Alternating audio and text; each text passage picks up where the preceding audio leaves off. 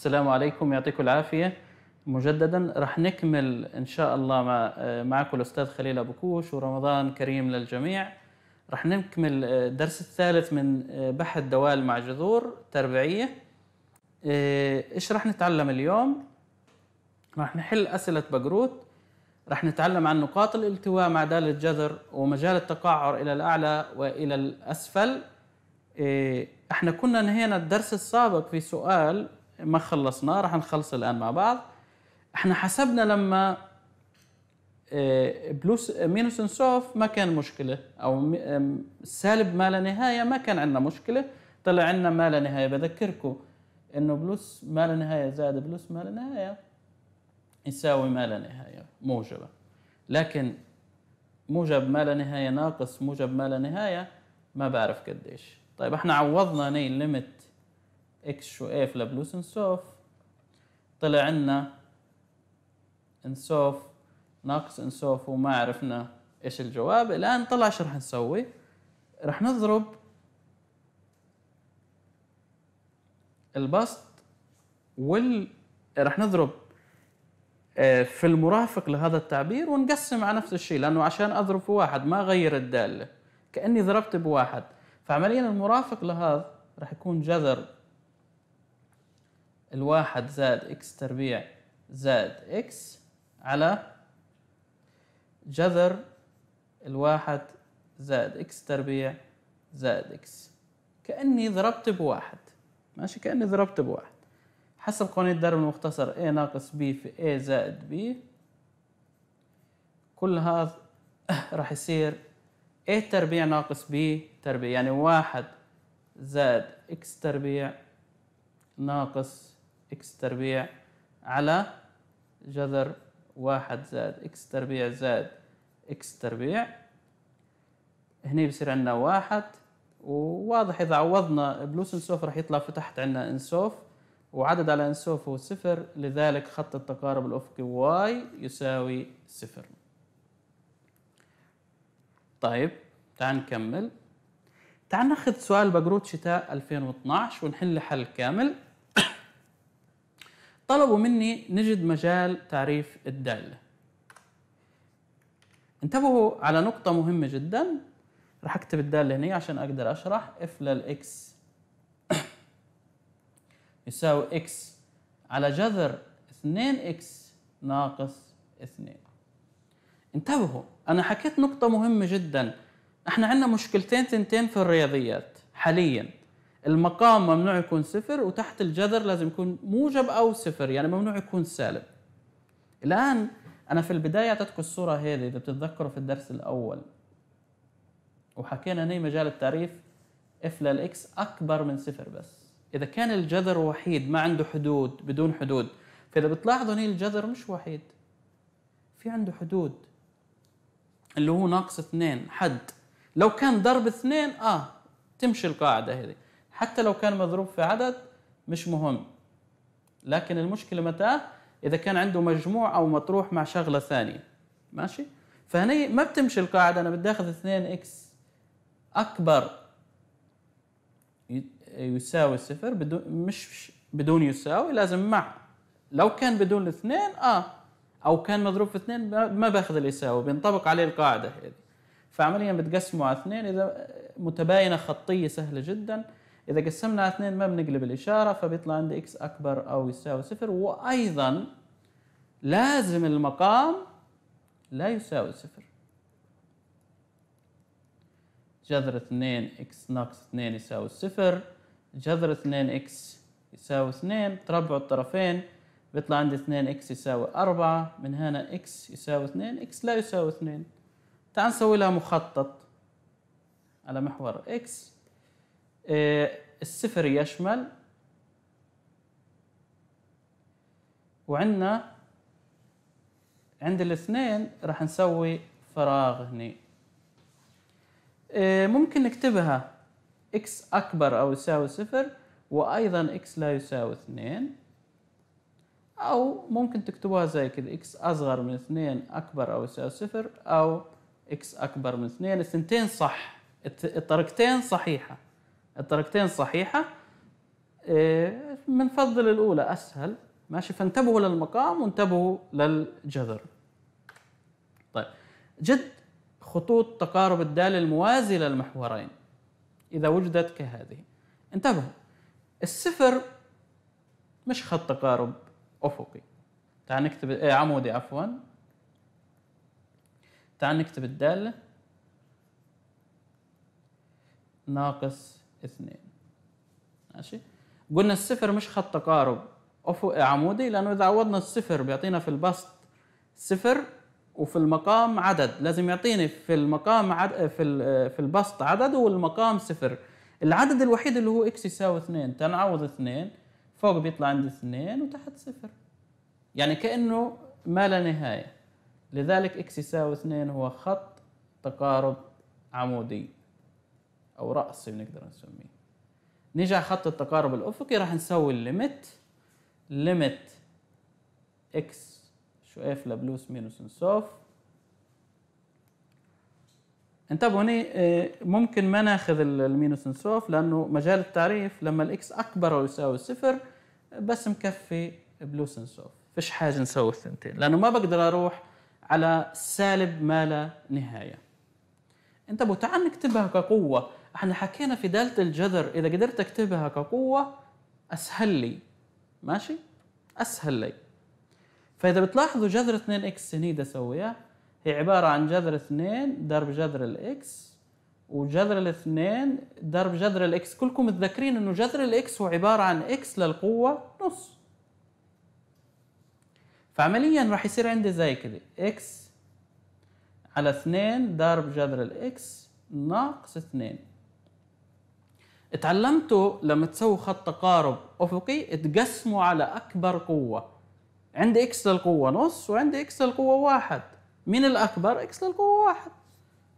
عمليا بدها تصير الداله إكس على 2 ضرب إكس للقوة نص جذر 2 ضرب إكس للقوة نص ناقص 2 بنقسم أكبر قوة اللي هي إكس. هني قسمنا على إكس. ناقص 2 على إكس إذا بتلاحظوا واحد سهل جدا. بعدين بصير عندنا جذر 2 على إكس للقوة نص. كمان مرة اللي مش فاهم ليش هي بنسويها هني إكس للقوة نص على إكس للقوة واحد هي إكس للقوة نص ناقص واحد إكس للقوة ناقص نص. إكس للقوة ناقص نص هي واحد على إكس للقوة نص. ناقص 2 على إكس إذا بتعوضوا אינסוף هذا راح يطلع פלוס אינסוף. حتى لو كان مع جذر يعني إكس للقوة نص هي جذر الإكس جذر ال אינסוף هو אינסוף وهني كمان אינסוף. عدد على אינסוף حكينا صفر هذا صفر وهذا صفر. عدد على صفر غير معرف أو אינסוף لذلك ما في خط تقارب أفقي. لا يوجد خط تقارب أفقي. طيب تعال نكمل. ضلكم متذكرين الدالة دائما اللي هي اف للاكس يساوي إكس على جذر 2 إكس ناقص 2 جد نقاط تقاطع الرسم البياني للدالة مع المحورين. كانت عندي الدالة واي يساوي إكس على جذر 2 إكس ناقص 2 تعلمتوا مع محور واي نعوض إكس يساوي صفر. تعال نسوي هنا إذا عوضنا إكس صفر راح يطلع عندي الصفر على آه، جذر الصفر ناقص اثنين صفر على ناقص اثنين اللي هي يساوي صفر يعني صفر وصفر وداخل مجال التعريف. طبعا مع محور إكس واضح كمان. نعوض واي يساوي صفر. راح يطلع عندي إكس على جذر الاثنين إكس. ناقص 2 يساوي صفر. إذا بتضرب ضرب تبادلي راح يطلع عندي إكس يساوي صفر كمان صفر وصفر. هذول سويتهم سريعا لأنهم سهلات جدا. نيجي على النقاط القصوى للدالة وحدد نوع هذه النقاط. تعال نشتق الدالة. طبعا هاي دالة نسبية. راح نشتقها حسب بسط على مقام. كان عندي واي يساوي إكس على جذر 2 إكس ناقص 2 كمان مرة أنا متعود أو الأسهل للترتيب إن نكتب الاف للاكس يساوي إكس اف תג للاكس يساوي واحد جي للإكس عبارة عن جذر اثنين إكس ناقص اثنين وجي תג للإكس هي قديش بتطلع عنا؟ قلنا فوق بنكتب مشتقة اللي تحت الجذر اللي هي اثنين على اثنين جذر 2 إكس. طبعا الناقص 2 مشتقتها صفر. كمان مرة مشتقة الإكس هي واحد ومشتقة جذر 2 إكس ناقص 2 هي عبارة عن 2 على 2 جذر 2 x. حكينا بنكتب مشتقة اللي تحت الجذر في البسط وفي المقام بنكتب 2 ضرب الدالة نفسها. ماشي؟ اللي اشتقيتها. هي كل واحدة بشتقها لحال الاثنين مع الاثنين بتروح فبضل عندي واحد على جذر 2 x. تعال نكتبها هنا نعوض المعطيات. القانون إيش بقول لك؟ مشتقة الأولى اللي هي f תג لل x اللي هي واحد ضرب g لل x اللي هي جذر 2 x ناقص 2 ناقص مشتقة ال g لل x اللي هي واحد على جذر 2 x ضرب f لل x اللي هي x. كل هذا على المقام تربيع طبعا المقام ما بهمني راح يروح لما نسوي له صفر. انتبهوا إيش راح أسوي؟ راح أخذ البسط وأكتبه مقام مشترك. نسوي له مقام مشترك اللي هو جذر 2 x. ماشي؟ كأني ضربت بجذر 2 x فبصير عندي هنا هنا راح أضرب في جذر 2 x هنا كأنه واحد.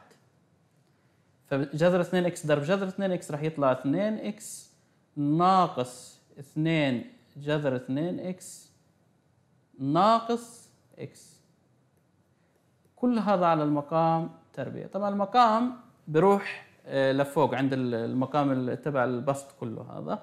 عمليا أنا لما أسويها للصفر بضل عندي بس تعال نكملها هني بضل عندي بس 2 x ناقص 2 جذر ال x ناقص x يساوي صفر. ماشي؟ فبيضل عندي x ناقص 2 جذر ال x يساوي صفر. حكينا كيف بنحل معادلة مع جذر؟ لازم نربع الطرفين. أول شغلة لازم نخلي الجذر وحيد على جهة. بننقل على جهة يا اليسار يا اليمين مش مهم. فبصير عندنا 2 جذر ال x يساوي x تربيع الطرفين.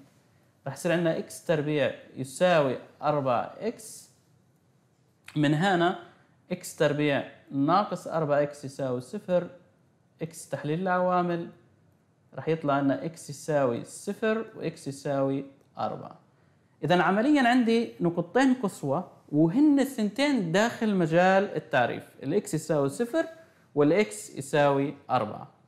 طيب راح أكتب المشتقة آه، قدامنا عشان نعوض فيها اللي هي y תג على x ناقص 2 جذر ال x كل هذا على جذر 2 x ضرب المقام التربيعي. هذا كله موجب ما في حاجة نعوض فيه. ماشي؟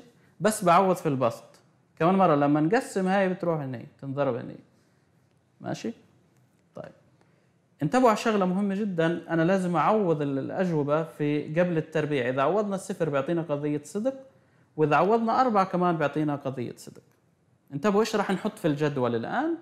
في عندي نقاط الأطراف اللي كانت عندي في مجال التعريف اللي هي الصفر وخط التقارب العمودي اللي هو اثنين. فكمان مرة أنا لازم أبدأ من صفر اللي هي نقطة الطرف. طبعا مش معرفة المشتقة فيها. الواي تبعها هو صفر. عندي خط التقارب العمودي اللي هو اثنين لازم نحطه. وعندنا كمان النقطة القصوى الداخلية اللي هي أربعة. ماشي؟ طبعا في المشتقة بتعطيني الصفر وال y تبعها بنقدر نحسبها. تعال نحسب ال y. الدالة x على جذر 2 x ناقص 2 y يساوي 4 على جذر الثمانية ناقص اثنين. تقدر تحسبوها. ما عندنا y مش مهم. تقدر تحسبوها على الآلة الحاسبة ماشي. أنا بهمني الآن بناء الجدول بشكل صحيح. انتبهوا. الصفر راح تكون نقطة قصوى طرف لأنه هذا مجال آه، نصف مفتوح. حكينا عن هذا الشيء. نصف مفتوح. يعني عندي طرف واحد فقط. ماشي. وبتروح لما لا نهاية. يعني إذا بدنا نكتبها في طريقة مجالاتنا نكتب صفر قوس مربع فاصلة بلوس إنسوف قوس دائري إحنا ما بنروح على المينوس إنسوف مينوس إنسوف حسب مجال التعريف اللي كتبناه. بين الصفر والاثنين نقدر ناخذ واحد ونعوض في المشتقة. حكينا في المشتقة مكفي أعوض في البسط راح يطلع عندي سالب يعني تنازلي. بين الاثنين والأربعة راح آخذ ثلاث. إيه راح يطلع عندي كمان سالب. عشان تقدر تحسبوها. وبعدين راح آخذ تسعة لأنه له جذر. تسعة بيطلع عندي كمان موجب. فإذا هي نقطة هاي راح تطلع نقطة minimum تعال نتذكر نقطة الطرف إيش راح تكون؟ راح تكون maximum إذا أخذت من اليسار تنازلي إذا تتذكروا الجدول اللي سويناه إذا بعد الصفر الدالة التنازلية هيدي تظل فوق وراح تكون maximum طرف. maximum صفر صفر. تعال نكتب الأشياء على الرسمة. طب هاي ال maximum صفر صفر. هاي نقطة ال minimum اللي طلعت معنا هاي الرسمة اللي هي كانت أربعة y معين اللي هو أربعة على جذر الثمانية ناقص اثنين. انتبهوا. عندنا خط التقارب العمودي اللي هو x يساوي اثنين. تعال نكتب المجال التصاعدي. المجال التصاعدي عندنا لما ال x أكبر من أربعة فقط. التنازلي إذا بتلاحظوا المجال التنازلي بيبدأ من x أكبر أو يساوي صفر. حكينا وحكينا هاي الشغلة بوضوح. إذا كانت نقطة الطرف داخلة معنا في المجال ماشي بنكتبها في المجال التصاعدي أو وين في عندنا آه، تنازل هنا كان عندنا أو إكس أصغر إكس آه، بين x أكبر أو يساوي صفر أصغر من اثنين لحد الاثنين أو x أصغر من الأربعة أكبر من الاثنين. هاي الرسمة وهي مجال التصاعد والتنازل هيك حلينا سؤال بقروت شتاء 2012 إيه سؤال بسيط جدا الواحد بس يمشي حسب القواعد. إيه مهم جدا إيه ننتبه لنقاط الأطراف إذا كانت دخلت معنا ولا لا. مهم جدا هذا. إذا كانت دخلت معنا بيكون نقاط قصوى وأيضا بنكتبهن مع يساوي في مجال التصاعدي والتنازلي. كثار طلاب بيخربطوا كيف حددت هاي ماكسيموم حكينا إذا من جهة اليمين تنازلي هي بتكون أعلى شيء وهيك خلصنا السؤال. تعال نكمل آه كمان أسئلة. آه رح نطلع كمان شوي لاستراحه قصيرة جدا وبعدها رح نشرح إيش يعني نقاط الالتواء ومجال التقعر إلى الأعلى وإلى الأسفل. رح أذكركم في هذا الشيء. وبعدين نكمل آه لسؤال بقروت مع نقاط التواء ومجال تقعر إلى الأعلى وإلى الأسفل. يعطيكم العافية. كان معكم الأستاذ خليل أبو كوش. رح نطلع استراحة قصيرة جدا. شكرا لكم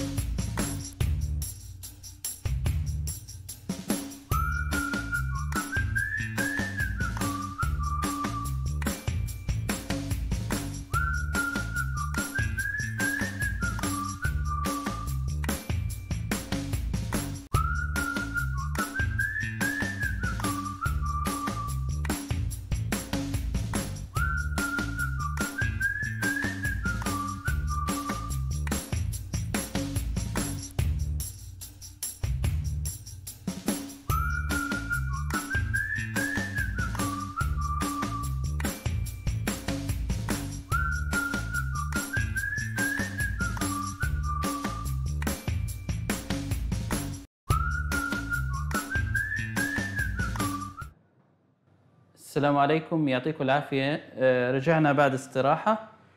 آه، حكينا إنه في الدرس السابق رح نبدأ في نقاط الالتواء ومجال التقعر إلى الأعلى ولا الأسفل. آه، كمان مرة تعلمتوا هاي المادة في دوال عادية بس بدي أذكركم في القاعدة. انتبهوا مشان أو من أجل إني أجد نقاط الالتواء لازم أشتق الدالة مرتين أسوي مشتقة مرتين وأسويها لصفر. انتبهوا. الآن مش بالضرورة إذا كان عندي نقاط صفرية في المشتقة الثانية يكون النقاط التواء لا. عشان يكون نقاط التواء لازم الدالة تتحول من تقعر إلى الأعلى إلى تقعر إلى الأسفل والعكس صحيح. والعكس صحيح.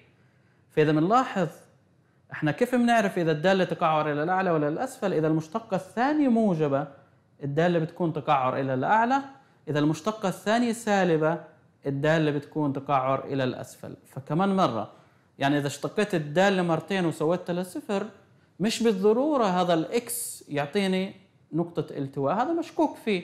فعشان يكون نقطة التواء لازم يتحقق الشرط إنه الدالة تتحول من تقعر إلى الأعلى إلى الأسفل أو العكس صحيح. تعال ناخذ مثال. عندي دالة هذا الاكس تربيع جانا زيادة. ماشي نقدر نمحاه. عندي دالة واي يساوي 15 على 2 ناقص 4 على إكس ضرب جذر الاكس جد مجال تعريف الدالة انتبهوا. هني آه، جذر الاكس أتى كعامل في المقام مش كحد. عمليا بدي يكون عندي مجال التعريف إكس أكبر من صفر بس. وصحيح هاي كمان إنه الإكس لا يساوي صفر بس كتبنا الإكس أكبر من صفر. إيه، طلبوا مني إني أبين إنه الدالة التصاعدية لكل إكس. لذلك أنا لازم أشتقها. مجال التعريف كتبناه. هي بعيد عليه كمان مرة. كانت عندي الدالة واي يساوي 15 على 2 ناقص 4 على إكس ضرب جذر الإكس. حكينا إنه الإكس أكبر من صفر فقط مجال التعريف. حكيت نقطة مهمة جدا. إذا كان جذر الإكس كعامل بس باخذ إكس أكبر من صفر. يعني حكينا هاي النقطة سي على جذر اف للإكس حتى لو كان مضروب في أي شيء بناخذ بس أكبر من صفر. وكمان الإكس لا يساوي صفر هي موجودة فهي بطلت الإكس أكبر أو يساوي صفر. هذا بالنسبة لمجال التعريف. هاي الدالة اللي عندنا. طيب. بين إنه الدالة تصاعديه لكل إكس كانت الدالة عندي واي يساوي 15 على 2 ناقص 4 على إكس ضرب جذر الاكس انتبه الحين أنا شايف انتبهوا أنا شايف إني أحولها إيه لقوة أسهل لي. كيف؟ جذر الاكس هي عبارة عن إكس للقوة نص. إذا بنيجي بنعوض إكس ضرب إكس للقوة نص هي عبارة عن إكس للقوة حسب قوانين القوة ثلاث على اثنين. فأسهل أكتبها زي كذا ماشي؟ عمليا بصير عندي واي يساوي 15 على 2 ناقص 4 على إكس للقوة واحد ونص. ماشي؟ هيك أسهل لي أشتقها. عمليا بتصير عندي واي يساوي 15 على 2 ناقص 4 إكس للقوة ناقص واحد ونص أو ثلاثة على اثنين. هاي بكتبها. إذا كان عندي واحد على a للقوة n بقدر أكتبها a للقوة ناقص n. تعال نشتقها الآن وهي أسهل للمشتقة.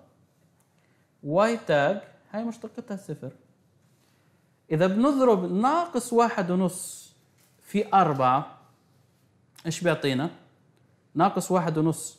في أربعة بيعطينا عمليا ست. أربعة ضرب واحد ونص اللي هي ستة أربعة ضرب ثلاثة اثنين اللي هي ستة فعمليا بيصير عندنا ستة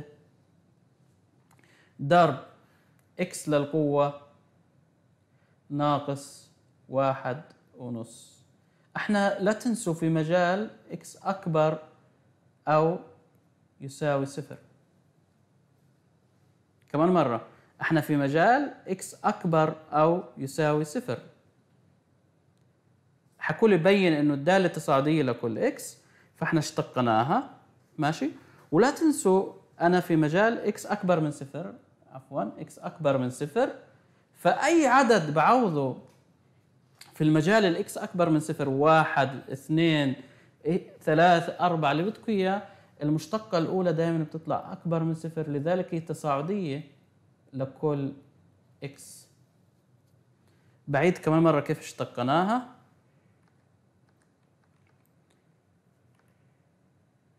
هاي الدالة اللي كانت عندي 15 على 2 إكس تربيع. إحنا نسينا الإكس تربيع. طيب نسينا الإكس تربيع. تعال نكتب الإكس تربيع يعني ماشي؟ نسينا الاكس تربيع. راح يصير عندنا ضرب واي תג يساوي اثنين ضرب خمسطعش على اثنين إكس نفس المشتقة بس نسينا الاكس تربيع. ناقص زائد ستة إكس للقوة ناقص واحد ونص. هاي هي مشتقتنا. فعمليا واي תג راح تصير خمسطعش إكس زائد ستة إكس للقوة ناقص واحد ونص. إيه تعال نسويها للصفر عشان نجد النقاط القصوى. فعمليا بصير عندنا 15 إكس يساوي ناقص 6 إكس للقوة ناقص واحد ونص. انتبهوا إيش سويت كمان مرة؟ بشرح كمان مرة إيش سويت. كانت عندي الدالة 15 على 2 إكس تربيع. هاي حولتها لقوة أسية مشتقة 15 على 2 إكس تربيع. هني التصليح تبعنا هذا كله لازم نشطبه. آه، بنضرب 2 في 15 على 2 اللي هي 15 إكس زائد 6 ضرب إكس للقوة ناقص واحد ونص. الآن لازم نحل المعادلة هذه. انتبه. في عدة طرق لحل المعادلة. ممكن أربع الطرفين. إذا ربعنا الطرفين تعالوا نشوف إيش بيصير عندنا. ني تربيع. ني تربيع. راح نحصل على إيش؟ راح نحصل 15 تربيع. 15 ضرب 15 قديش عندنا؟ 5 إيه، في 5 25 إيه، بيطلع لنا 225 إكس تربيع يساوي 6 إكس للقوة 3 آه، كلكم بتقدروا تكملوها بسيطة جدا. بنقدر نكملها بسيطة جدا. وبتبينوا إنه الدالة تصاعدية لكل إكس وبنبين إنه الدالة تصاعدية لكل إكس إن شاء الله. هاي مش مهمة عندي بقدر إني أشتق الدالة كمان مرة وأجدها وأسويها لصفر وعشان أجد نقطة الالتواء إحنا تعلمنا كيف نبين إنه الدالة تصاعدية لكل إكس أنا مهم جدا عندي الآن أجد نقطة الالتواء. لذلك راح أرجع كيف سويت المشتقة من جديد.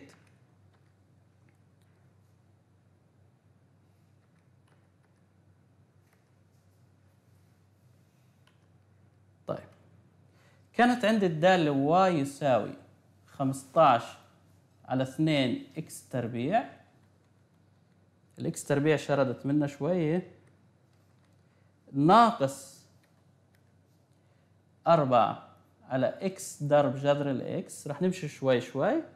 حكينا إكس ضرب جذر الإكس هي عبارة عن إكس ضرب إكس للقوة نص اللي هي عبارة عن إكس للقوة ثلاثة على اثنين. طيب. فبصير عندنا واي يساوي 15 على 2 إكس تربيع ناقص 4 على إكس للقوة 3 على 2 أو بنقدر نكتبها زي كذي. y يساوي 15 على 2 x تربيع ناقص 4 ضرب x ناقص واحد ونص. تعال نشتقها مشتقة بتصير عندي 15 x ناقص بتصير عندنا زائد 4 ضرب واحد ونص اللي هي زائد 6 إكس ناقص اثنين ونص. بننقص واحد من القوة. كمان مرة بننقص واحد من القوة. هان كمان لازم تصلحوا. وعمليا أنتم بتقدروا تحلوها في الدار هني. ماشي؟ هاي بتقدروا تحلوها في الدار. سهلة جدا. أنا بدي نقطة الالتواء إن شاء الله. راح أكمل لنقطة الالتواء. ونجدها مع بعض. طيب. وصلنا لواي תג. الآن انتبهوا. عشان أجد نقطة الالتواء أنا بدي المشتقة الثانية. كمان مرة بدي المشتقة الثانية. تعال نشتق هاي. كمان مرة. واي תגיים بعيد كمان مرة سويناني. اثنين في 15 على اثنين اللي هي سبعة ونص سبعة ونص في اثنين اللي هي 15 إكس زائد ناقص واحد ونص. في ناقص بصير عندنا زائد 6 إكس. انتبهوا إحنا لما نشتق عندي القانون بيقول زي كده. إذا كان a x للقوة n بتصير n ضرب a ضرب x للقوة n ناقص واحد. هني أنا نسيت أنقص الواحد هي سويناها أنتم بتكملوها في الدار. إيه، نقاط القسوة حلينا أسئلة كثار أنا بدي احل نقاط التواء. فلما نقصنا واحد صار عندي ناقص اثنين ونص الآن بدي أشتقها كمان مرة. راح يصير عندي 15 ناقص 6 في 2 ونص. قديش 6 في 2 ونص؟ 6 ضرب 2 اللي هي 12 زائد 3 اللي هي 15 إكس وبتنقصوا من 2 ونص كمان واحد بصير عندنا ناقص 3 ونص. عمليا راح يصير عندي 15 ناقص 15 على إكس للقوة 3 ونص. يساوي صفر. انتبهوا. عمليا بقدر أطلع 15 عامل مشترك فبضل عندي واحد ناقص واحد على إكس للقوة ثلاثة ونص يساوي صفر. إيه بقسم على 15 فبصير عندي واحد يساوي واحد على إكس للقوة ثلاثة ونص. نضرب ضرب تبادلي بيطلع عندنا إكس للقوة ثلاثة ونص يساوي واحد. بقدر أربع الطرفين بيطلع عندي إكس للقوة سبعة يساوي واحد. بتساوي الجذر السابع لأنه فردي بيطلع عندي بس الاكس يساوي واحد وهي مشكوك فيها لنقطة التواء. الاكس يساوي واحد مشكوك فيها لنقطة التواء. إكس يساوي ناقص واحد مشكوك فيها لنقطة التواء. إيه تعال نشوف هل هي نقطة التواء ولا لا. طبعا أنا بنيت جدول اختبار حسب المشتقة الثانية انتبهوا عندي الواحد. طبعا هني الصفر ما بهمني الصفر ما بتقدر تكون نقطة التواء. بين الواحد والصفر بقدر أخذ نص وبعد الواحد بقدر أخذ اثنين. تعال نتذكر مع بعض مشتقتنا إيش كانت؟ كانت 15 ناقص 15 على إكس للقوة ثلاث ونص. طيب. أو إحنا آخر شيء آه، بعد ما ربعناها صارت عندنا إكس للقوة 7 يساوي 1 أو إكس يساوي إكس يساوي 1 انتبهوا إكس للقوه 3 ونص إيش بقدر أكتبها كمان؟ 15 ناقص 15 على إكس للقوة 7 على 2 إحنا متعودين إنه إكس للقوة نص نكتبها جذر الإكس. ماشي؟ هاي بقدر اكتبها 15 ناقص 15 ع جذر إكس للقوة 7 نفس العملية. ماشي اللي بدي يكون آه، متريح معها. هاي الواي تقايم. ماشي.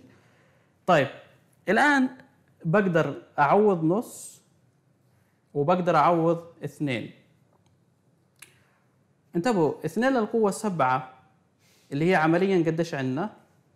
اثنين للقوة سبعة عندنا 64 2 للقوة 64 جذر ال 64 اللي هي 8 15 على 8 راح يطلع لنا موجب هني. وهني راح يطلع لنا سالب تقدر تحسبوها. هاي راح تكون تقعر إلى الأسفل وهاي تقعر إلى الأعلى. إذا هي نقطة التواء. طلعت عندي نقطة التواء. ومجال التقعر إلى الأعلى إكس أكبر من واحد والتقعر الأسفل إكس أصغر من واحد أكبر من صفر. بس قبل لا أنهي بالدرجة هني إيه، إحنا نسخنا الدالة قبل بصورة غير صحيحة نسينا الإكس تربيع. بس بدي إياكم تكملوا شغلة مهمة جدا. في في هاي السؤال هني المشتقة الأولى طلعت عندنا 15 إكس زائد 6 إكس القوة ناقص 2 ونص. يعني هني بدك تسووها لصفر. ماشي وتبينوا إنه الدالة تصاعدية لكل إكس طيب تعال نكمل. خطوط التقارب سهل جدا تجدوهن. إيه رح نيجي على سؤال شتاء 2017 رح نحل مع بعض بشكل كامل شوي شوي. وإذا ما لحقنا بنكمل الدرس الجاي.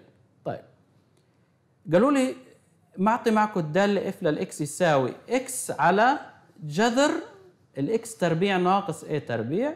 طبعا a هو بارامتر. أجب عن البنود ألف لحتى واو بالنسبة ل A أكبر من صفر. طبعا ال A عندي عدد موجب. ماشي؟ أنا بطلع على A كأنه عدد موجب. طبعا عبر عن إجابتك بدلالة A إذا ادعت الحاجة. ماشي؟ ممكن مرات ما أقدر أجد بدون دلالة A. تعال نجد على مجال تعريف الدالة. جد مجال تعريف الدالة. انتبهوا x تربيع ناقص a تربيع بس أكبر من صفر لأنه موجود لحاله الجذر في المقام. هني أسهل إني أرسم دالة تربيعية. إيش نقاط تقاطعها الدالة التربيعية؟ إذا بتلاحظوا x ناقص a في x زائد a حسب تحليل العوامل يعني x يساوي a و x يساوي ناقص a تخيلوا ال a 5 هاي النتيجه الناقص a ونهي ال a كيف الرسمة موجودة؟ ال A معامل x تربيع أكبر من صفر فهي موجهة لوين؟ لفوق فعمليا المجال الموجب للتعبير هذا لما الاكس أكبر من A أو إكس أصغر من ناقص A. انتبهوا هني أسهل إني أحلها كدالة تربيعية إني أرسمها كدالة تربيعية أسهل لي مني أحلها عن طريق الثعبان. ماشي؟ سهل جدا أرسمها. وجدت نقاط التقاطع تبعت الدالة التربيعية إكس تربيع ناقص اي تربيع اللي هن اي وناقص اي والدالة موجهة لفوق. فمجال التعريف سهل جدا يعني بنقدر نجده بسهولة جدا. إكس أكبر من اي أو إكس أصغر من ناقص اي طبعا لو واحد بده يحلها عن طريق ال נחש بدي أحط الناقص a وال a ماشي؟ هني بعوض ناقص 2 a راح يطلع لنا موجب هني الصفر راح يطلع سالب هني 2 a راح يطلع موجب فراح يطلع نفس الجواب. آه، بتأمل إنكم تكملوا السؤال للدرس الجاي. الدرس الجاي راح نكمل حل السؤال هذا. حلوة وفكروا فيه. أتأمل إنكم تحلوه. وفي اللقاء الجاي إن شاء الله راح نكمل الحل وناخذ كمان سؤال. يعطيكم العافية حاليا وشكرا لكم ورمضان كريم.